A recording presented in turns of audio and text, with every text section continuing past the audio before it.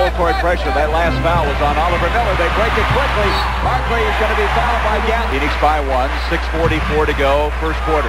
Barkley gets Webber in the air. And as it goes in, he's able to get that shot to go.